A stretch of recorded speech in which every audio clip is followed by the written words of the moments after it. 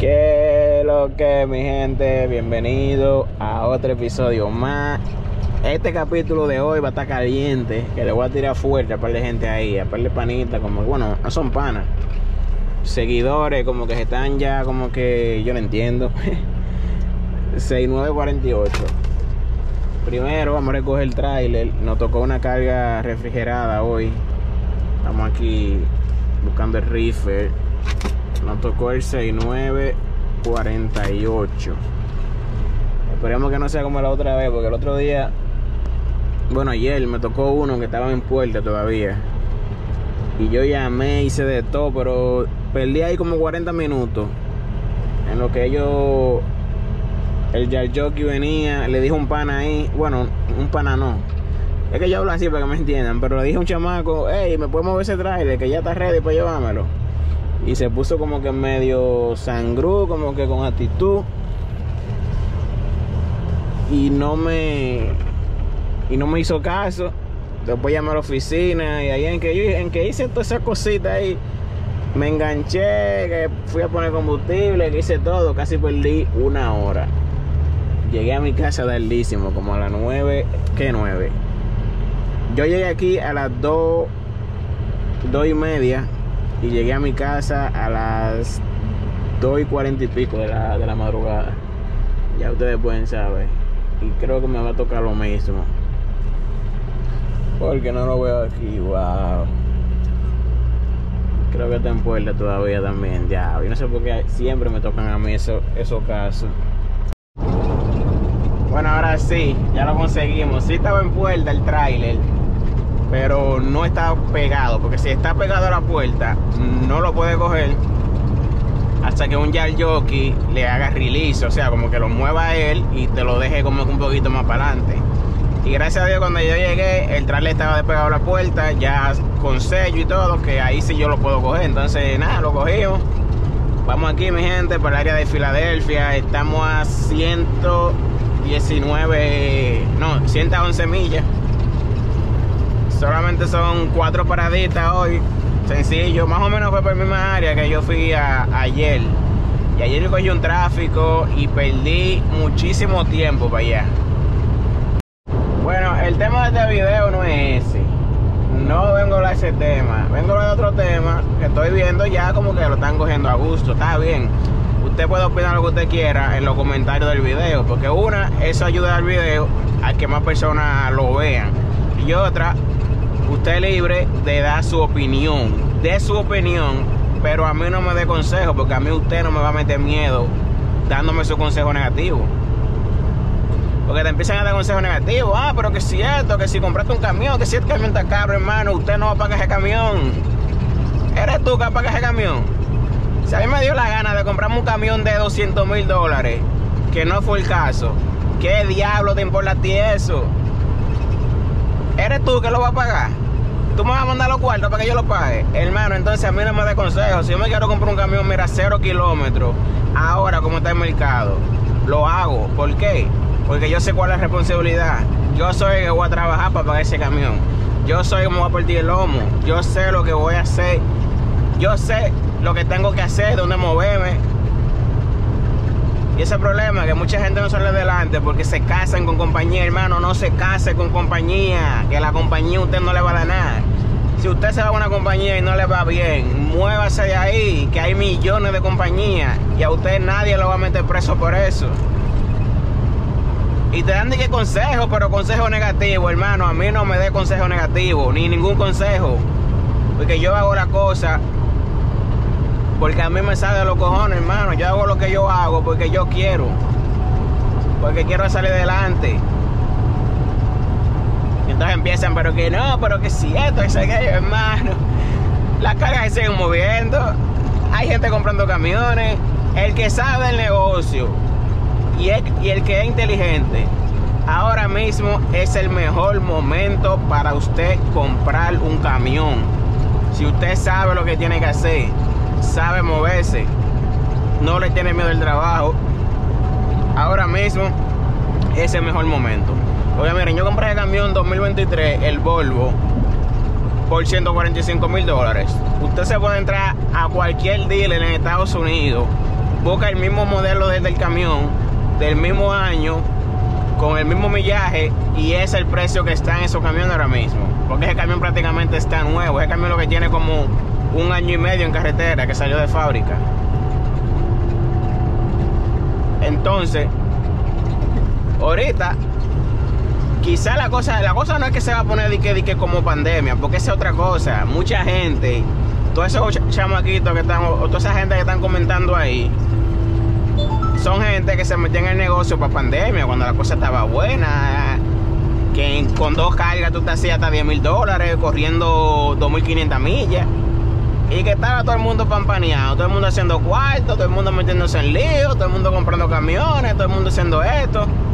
Y ¿sabe qué? Pasó pandemia, ¡pa! Se le desbarató el muñeco a todo el mundazo. Entonces, para el que estaba en esos tiempos en el negocio, porque yo investigo, porque ese es el, el problema mío. Yo no te voy a decir de que, mira, yo estaba antes de pandemia en el negocio. Yo me entré al negocio para el 2021, prácticamente en pandemia, me entré, yo el negocio. Pero yo veo noticias, me la paso leyendo, me, la paso hablando con gente que sí tiene experiencia antes de pandemia. Y hermano, los precios que están ahora mismo en el mercado eran los precios que estaban antes de pandemia. Es lo mismo, lo que pasa es que la gente llegó a la pandemia, la cosa empezó a moverse, la gente a comprar y desesperar la carga tenía que salir rápido porque la gente tenía que pila de vaina encima. Estaba la pandemia y la carga empezaron a pagar más porque había una emergencia. Había una emergencia mundial que todo tenía que moverse rápido. Todo tenía que almacenarse por mucho, por si acaso no se podría reabastecer en, en un mes, dos meses. Tenían suministro, aunque la gente no comprara tanto así, porque no estaban saliendo mucho. Pero todos los almacenes todos los centros de, distribuciones estaban pidiendo mucho, mucho, hasta el doble de lo que hoy piden. ¿Por qué? Porque tenían miedo de que todo se acabara, de que hubiera escasez y era mejor prevenir y tener la mercancía ahí por si acaso pasaba eso. Entonces, por eso las cargas empezaron a subirle precio por la demanda, porque se tenía que mover más. Y ahí la gente empezó, coño, la cosa está buena, mucha carga, pagando muchísimo. Cualquier carga te pagaba hasta 3 dólares la milla. Tú con dos cargas, tú hacías hasta 10 mil dólares, 15 mil, 20 mil dólares. Si le metías la semana completa ahí para de carguitas, tú, tú, hacías hasta, hasta 15. Y ahí la gente empezó a saturar el negocio también, a comprar camiones, a poner choferes, comprar camiones, invertir, como estaban haciendo piles cuartos. Ahora, pa, se fue la pandemia, la cosa volvió, se normalizó. Entonces, el problema ahora mismo es, si hay un problema que yo creo que también está influyendo, bueno, no creo, está influyendo. Y es que la carga están pagando lo mismo que antes de pandemia, pero el flujo de carga no es el mismo que antes de pandemia. O sea, los precios siguen igual que siempre, antes de pandemia y ahora son los mismos precios. Quizás antes de pandemia, qué sé yo, una carga te pagaba cuando viene a ver un 10 centavos, 20 centavos más que ahora. Pero el problema de ahora es que el volumen de la carga ha disminuido por, por el post pandemia, por después de la pandemia, por la recesión económica, que eso está en todos lados. El que es inteligente sabe, estamos pasando por una recesión económica. La gente no tiene cuarto, no se está pidiendo productos, cargas, lo que sea. ¿Y sabe qué? El volumen bajó, no tan. No se está distribuyendo el mismo volumen de carga que antes de pandemia y durante de pandemia, porque durante de pandemia el volumen se multiplicó, pero antes de pandemia el volumen estaba bueno porque para esos tiempos la economía no estaba tan jodida como está ahora. Estaba un poquito estable. Bueno, estaba estable. Porque lo que jodió la economía mayormente fue esa pandemia, que se cerraron muchos negocios y todo cayó. Y ahora es que vamos, como que estamos es como que una gráfica sube y baja, sube y baja. ¿Por qué? Porque poco a poco se va estabilizando. A veces baja pensando que no va se queda ahí un tiempo, después sube y como que se mantiene así, el sube y baja. Entonces, el problema de ahora mismo es que hay demasiados camiones y el flujo de carga no es el mismo. Por eso tú ves que todo el mundazo es como que una batalla, como que es como que una competencia ahora mismo, porque al haber más camiones y, y menos flujo de carga, tú supiste que si ese flujo de carga ya se abarcan, ya cuando viene a ver lo que queda es un disparate. Y mayormente ahora también, eh,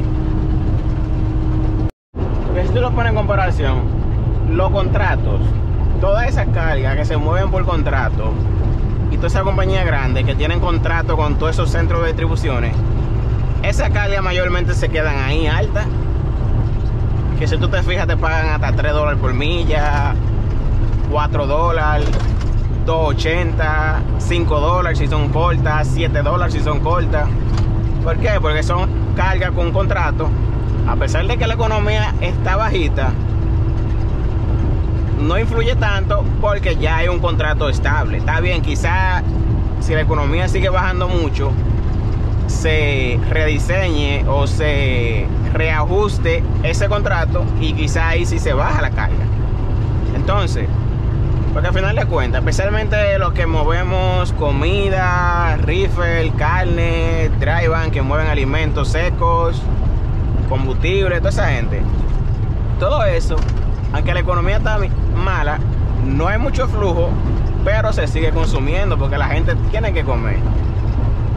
La gente sí necesita eso de, comida siempre va a estar ahí porque la gente tiene que comer porque es una necesidad. O sea, siempre va a haber carga. No el mismo flujo por la razón de que la gente no está pidiendo o no está comprando como antes la misma cantidad de, digamos, de, de alimentos. No es lo mismo. Entonces ahí baja el flujo de carga y por ende, si el flujo de carga baja o por la cantidad de, pedidos de diferentes centros de distribuciones baja, ustedes supieron que no van a haber mucha carga. Y si ya hay 10, 100 eh, camiones, es más, 1000 camiones. No, perdón, si ya hay 1000 cargas y 2000 camiones, ya se la lleva el otro. Y puede haber un poquito para los otros camiones, pero va a ser la, la los disparates, lo que no sirve ya prácticamente, lo que está ahora en el, en el en, el, en la aplicación esa. Esas cargas son las que están ahí. Las que toda esa compañía grande, toda esa gente que tienen contratos no quieren. Esas son las que paran ahí con los brokers. Porque a esas son las que le dan a los brokers. A menos que los brokers tengan una buena una buena amistad, un buen negocio con un centro de distribución, ahí es que sí la puede conseguir más cara. Pero si no, toda esa porquería es para los brokers que van. Entonces los brokers tienen que sacar su porcentaje de esa porquería y dátela a ti. Y al final de cuentas tú que vas a coger la lucha, lo que te están pagando es que 1.70 la milla, 1.50, 1.40, 1.30. Yo viendo carga de 2.000 millas de Atlanta para California, de que pagando 1.30 la milla dos mil y pico de millas por, ¿por qué? Por, por,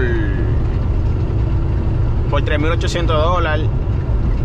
Que eso no es cuarto, porque tú prácticamente 3.800 dólares por dos mil y pico de millas. Si tu camión no ahorra mucho combustible, no te da un buen rendimiento de millas por galón, tú vas a gastar mínimo 1.500 en ese viaje para allá.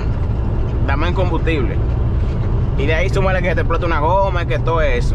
Entonces, ¿por qué le estoy hablando de eso? Porque ahí viene entonces mi otro punto. Si usted no sabe cuáles son los pensamientos míos y que yo he estudiado el negocio, está bien, yo he fracasado, pero ¿quién no fracasa en esta vida?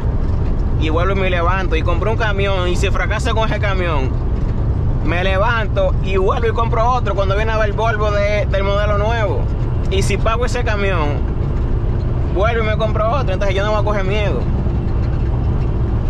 Entonces, vamos a hacer un paréntesis rápido. Yo voy a dejar de hablar mucho de mi de mis metas personales. Porque ahí oí que me comentaron hasta con mis estudios, hermano, no se meta con mis estudios. Usted no tiene que meterse con vaina personal mío. Porque yo subo videos a YouTube. Ese modo de entrenamiento, de entretenimiento y modo de enseñanza para que la gente aprenda. Incluso si yo fracaso para que la gente aprenda de eso, le digo, mira, yo hice esto así, así, así mal, eh, no lo haga así. Entonces, no se meta con eso, porque al final de cuentas yo no he dejado mi estudio. Esa es la primera. La segunda es, mis estudios no tienen que ver nada con los camiones. Mis estudios es algo mío para mi futuro, algo que yo desde niño siempre quise hacer. Se me dio la oportunidad ahora, lo estoy haciendo. Los camiones, ya eso es mi trabajo. Ya eso de los camiones que yo vivo. Para sostener a mi, mi familia. Y hacer par de pesos. Y mira, y puedo crecer haciendo eso mientras estoy estudiando, lo voy a hacer. Porque está bien, yo estaba trabajando con Prime, lisiando ese camión, que ese otra, el Volvo, ese camión no era mío, ese camión era lisiado. Que yo me podía ir, entregar ese camión y irme cuando yo quisiera.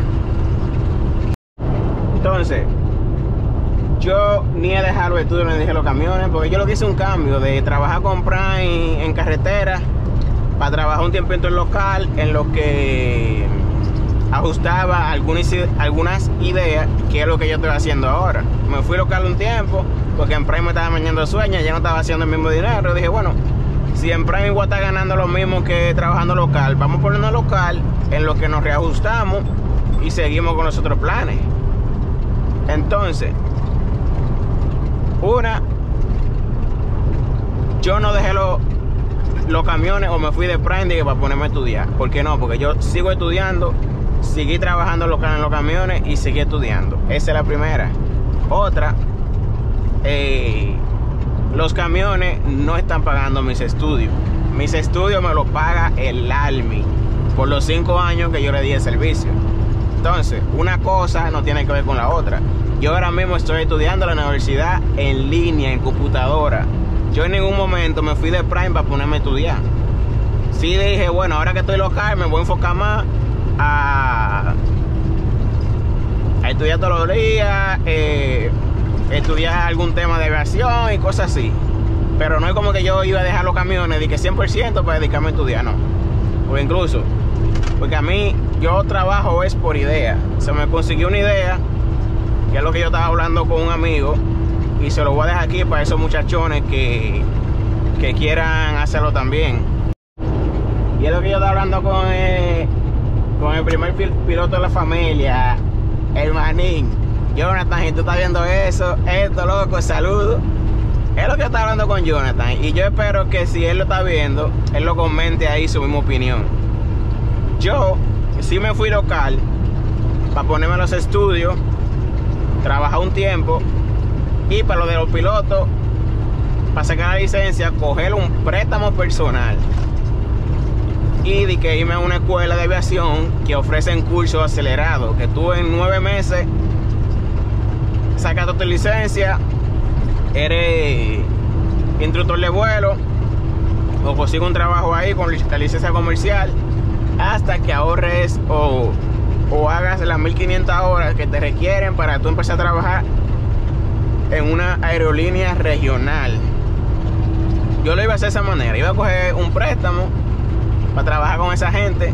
O sea, para coger préstamo, irme a estudiar, trabajar local si podía algún día o dejaba de, estudiar porque de trabajar un tiempito, como que bueno, estudiar más y trabajar menos. Era mi idea. Sí iba a seguir trabajando, pero era como que más estudio, menos trabajo.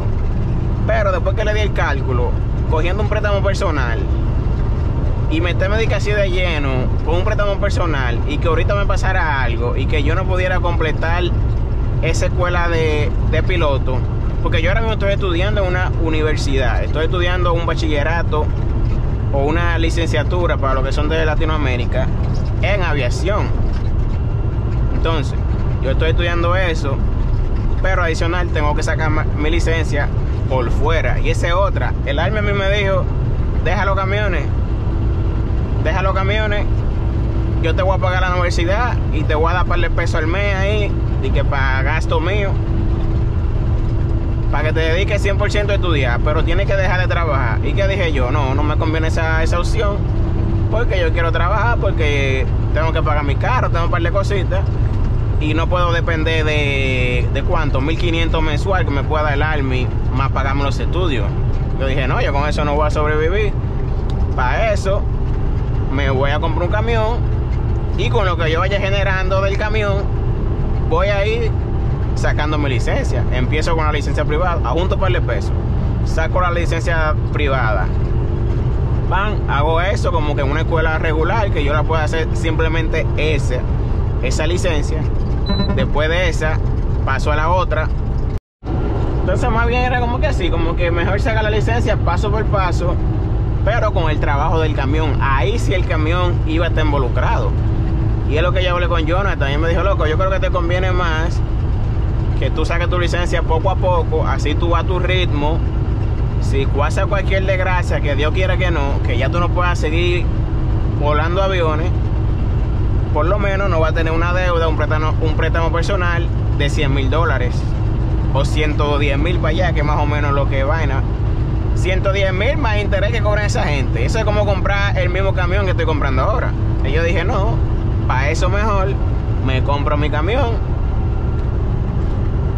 para yo coger un préstamo, que para meterlo a la escuela de aviación, me compro un, camión que por lo menos con eso yo sobrevivo, ahorro un par de pesos, y yo digo, bueno, me voy a coger, deja cogerme, hacer ruta cerca, un par de cosas, aunque gane 500, mil dólares a la semana, pero si estoy por lo menos todos los días en mi casa, yo puedo trabajar como que dijimos, bueno, hago en la mañana una ruta corta, por lo menos que me dé hasta para pagar el camión y me voy después a hacer mi hora de vuelo, a mi, a mi, mi licencia eh, privada, que es la primera que. Entonces, yo toda mi vida lo analizo. Y ahí fue que yo dije, coño, para yo coger un préstamo de 110 mil dólares, porque sí, el Army me lo, va me lo podía pagar eso, pero yo tenía que trabajar, no podía trabajar, tenía que enfocarme 100% a los estudios, porque esa eran política de ellos.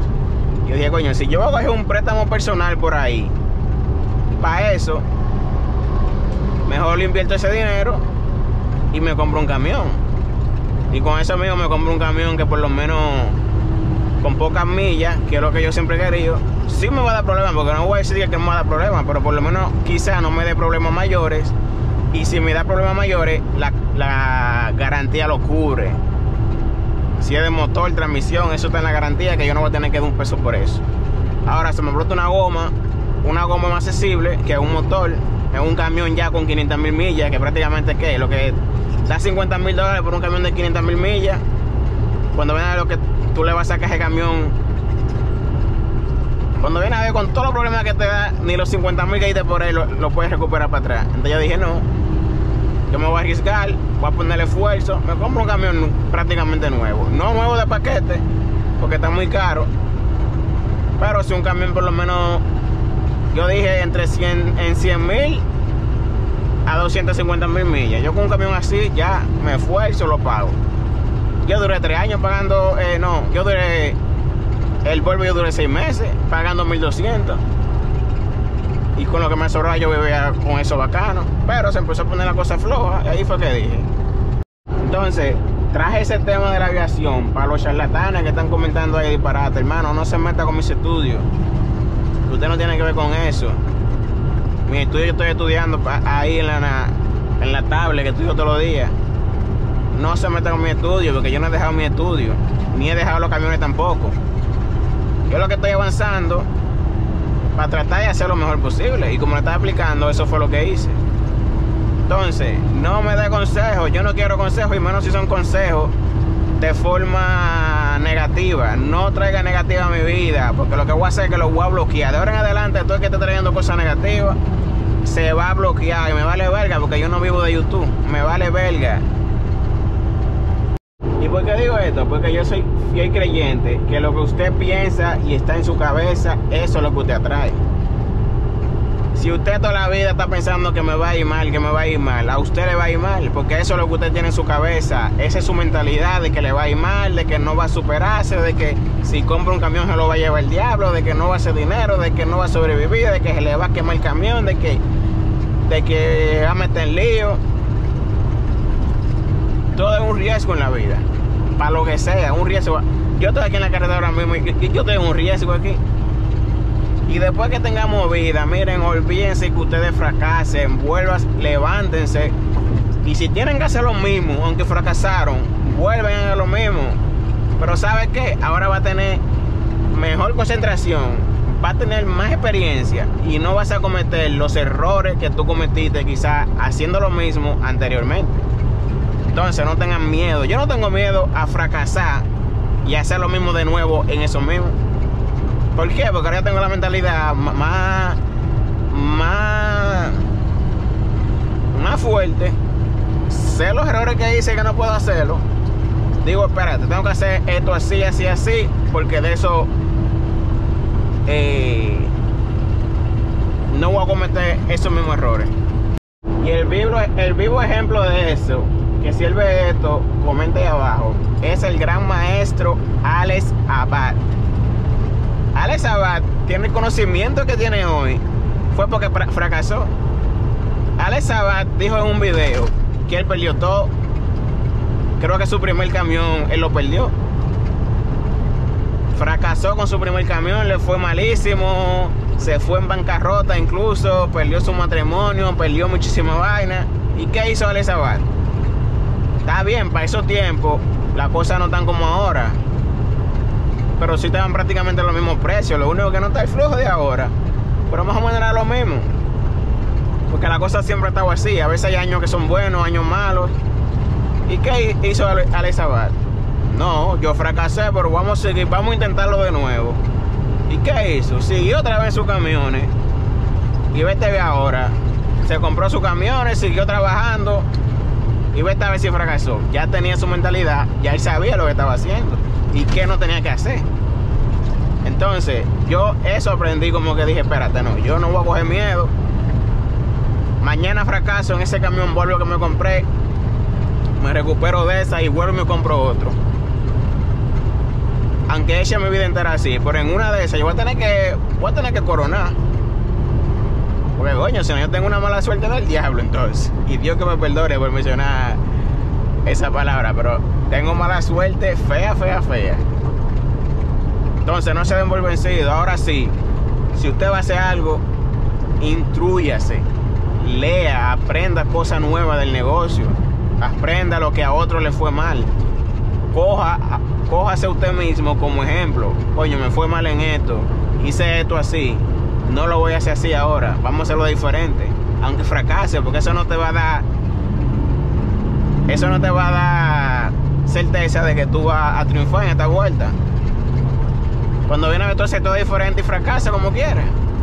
Porque la vida está hecha para fracasar y aprender de los fracasos. Porque así es como usted se hace mejor en su área, fracasando. Hoy en día los millonarios más millonarios no son millonarios porque nunca fracasaron. Son millonarios porque fracasaron 100 mil veces. Y de, esas, y de esos 100 mil fracasos, algo cogieron, que aprendieron, que no volvieron a cometer ese mismo error. Y por eso es que están hoy en, la cima y son multimillonarios. Porque vienen de fracasar una tras otra vez. Fracasan, vuelven y siguen. Fracasan, vuelven y siguen. Hasta que coronan y aprenden muchísimo y ya no hacen, dicen, coño, espérate, no voy a hacer esto porque fue lo que fracasé la otra vez. Pero nunca se rinden nunca se rindan y den esa mentalidad que vienen, que traen de sus países, de para allá, de Latinoamérica, donde sea, República Dominicana, donde sea, de Colombia, Chile, de donde sea que usted sea. Cambie su mentalidad y no tenga miedo al fracaso, que usted por fracaso no se va a morir. Si usted fracasa, levántese. Usted no es un hombre, coño, va a coger miedo. Ay, que voy a fracasar, mamá huevo, no fracase o quítese del medio. Sálgase de esto, usted tiene miedo al fracaso. Vayas a vender flores en una carretera, una vez así. Pero entonces tiene miedo de fracaso y quieren meter el fracaso y miedo de fracaso al otro también. Por eso es que la vida no le da nada. Ahora mismo yo, si viene un chamaco, me dice, loco, me quiero comprar un camión, ayúdame, ¿cómo tú me...? Yo lo, lo enseño a él, le hablo la cosa como es. Le digo, no, mira hermano, la cosa está un poquito floja, pero tú sabes que tú vas a tener que esforzarte el doble o el triple de lo que quizás te está esforzando trabajando ahora como para otra gente o lo que sea. Porque tú sabes que ya eso es un compromiso, un trabajo tuyo, es un negocio tuyo, que de ahí es que tú dependes, depende de tu familia. Por eso yo le aconsejo entonces lo que estaba hablando.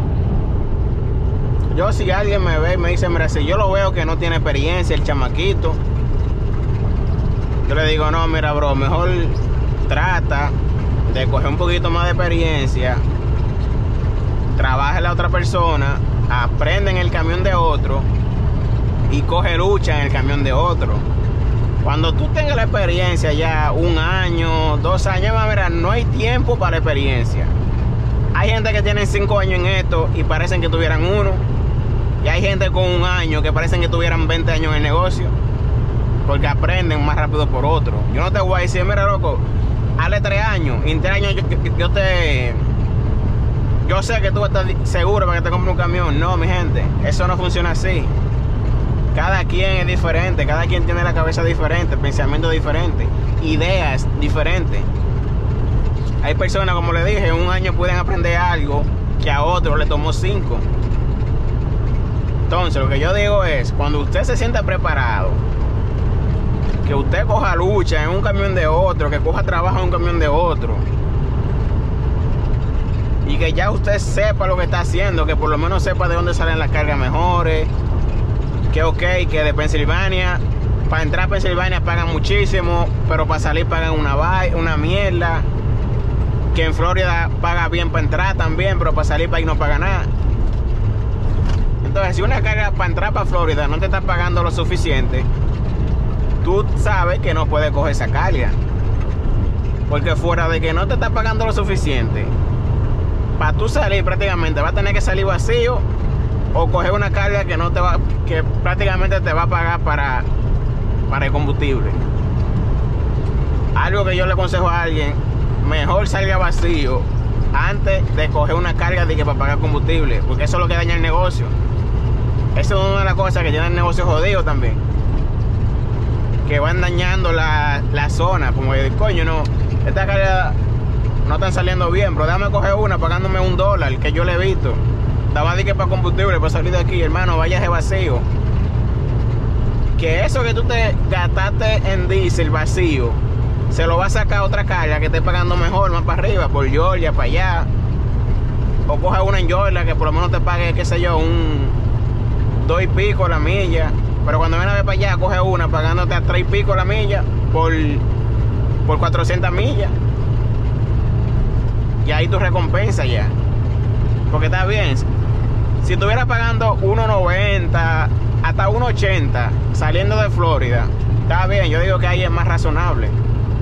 Porque si te la pagan 1.80, dependiendo del millaje que sea, cuando viene a ver, te da por el combustible y por lo menos paga parte del camión y te sobra para el peso de eso. Entonces, aquí en Estados Unidos, todo se mueve, prácticamente todo se mueve en camiones. Tarde o temprano, esa, ese papel, ese papel tarde o temprano va para un camión. ¿Por qué? Porque todo se mueve por camiones. Entonces, lo que yo le dije anteriormente, está bien, el flujo de carga puede que baje. Pero en algún momento está bien, la cosa no es que te van a, pagar como pandemia de nuevo, a menos que pase otra, Dios no lo quiera. Pero es posible de que sí va a subir un poquito más, claro, porque ahora mismo está un poquito bajita, obviamente, por la economía. Pero lo que está jodiendo a mucha gente es el flujo de carga, no hay mucho flujo. Y si hay un flujo, no está pagando lo suficiente o está pagando menos que como yo estaba contando, que antes de pandemia, porque antes de pandemia cuando viene a ver era casi igual, pero si te podía pagar un 10 centavos, es más, hasta 50 centavos más de lo que están pagando ahora. Pero más o menos era parecido lo que paga ahora con lo que pagaba antes de pandemia. Entonces, la idea ahora es saber tener la mentalidad de que, coño, voy a ponerme la mentalidad de que va a haber semanas que me puedo ir pelado, que me puedo ir mil, que me puedo buscar 1500, que me puedo buscar 2000, 2500, no sé, dependiendo cómo se corra. Pero ten esa mentalidad y la va a pasar mejor. No es una mentalidad de que no, que tengo que obligatoriamente buscarme 3.500, 4.000 a la semana para estar feliz. No, porque ahora mismo eso es imposible prácticamente. Y que buscarse 4.000 limpios, muchachos. Ahora mismo eso sí se puede, no es que no. Pero va a tener que coger guayá tu yuca, ya tú sabes, guayala bien guayá para tú buscarte ese dinero ahora mismo correo, saber bien qué lo está haciendo y usar tigueraje con los brokers. Porque si no te va a joder, entonces no vengan con esa mentalidad. Vengan con una mentalidad de que coño, me sobran 1500 hoy, pero estoy pagando un camión para mí. Ya sea a mí, como, como estoy pagando yo por el Volvo, porque el problema es que yo ese Volvo lo, voy a saldar en tres años. Si yo hubiese comprado ese camión en un dealer, está bien, hubiese pagado cuánto, hubiese pagado 500 semanal, pero me lo ponen a, qué sé yo, a, 6 años, 5 años, 6 años para allá arriba, más los intereses, que como quiera estoy pagando intereses aquí, pero me lo ponen a 6 años para allá arriba, 5 años, y yo no quiero durar 5 años pagando un camión. Yo quiero pagar un camión lo más rápido posible para salir de eso rápido. Porque si con lo que yo trabajo en el mismo camión me daba pagarlo y que me sobre para el peso a mí. Eso no es pérdida, porque te están sobrando para el peso. Está bien, no te va a sobrar 3 mil, 4 mil dólares. Pero 1500 que te sobren son 1500 que te están sobrando. Por algo que es tuyo o que tú estás pagando para ti, por un negocio tuyo. Que tú estás echando para adelante. Y ahorita paga ese en 3 años, que es la idea mía. Vuelve y te saca otro. Y el tuyo, el que ya pagaste, le pone un chofer y te va en el nuevo tú. O le da el nuevo a otro. Que no le aconsejo a nadie, pero si lo quieres hacer, le da el nuevo al otro, te quedas tú en el tuyo viejo. Y sigue ese mismo plan. Si eso es lo que tú quieras hacer. Entonces mi pensar es para toda esa gente que están hablando de que no, que ahora no es el momento. Sí es el momento para que sepa. Porque el camión aún no es pérdida. El negocio de los camiones aún no es pérdida. Porque mil dólares que te sobren, mil quinientos, dos mil dólares, es ganancia. Porque es lo que te está sobrando después que tú pagas todo, mantenimiento, seguro, camión, eh, ahorro para mantenimiento, todo eso. Después que tú haces todo eso, los gastos operativos y ahorro para la compañía para un futuro, todo eso. Si te sobran mil, mil quinientos, ya con eso tú vives. Si no tienes mucho gasto. Y ese dinero es tuyo. Si te pone un sueldo con mucho chofer. Y está bien, va a haber semanas que quizás te van a sobrar mil, la siguiente 1500, la otra cuando viene a ver si te va viendo 1500, 3000, vuelve te sobran mil, pero te está sobrando dinero, te está generando dinero ese camión.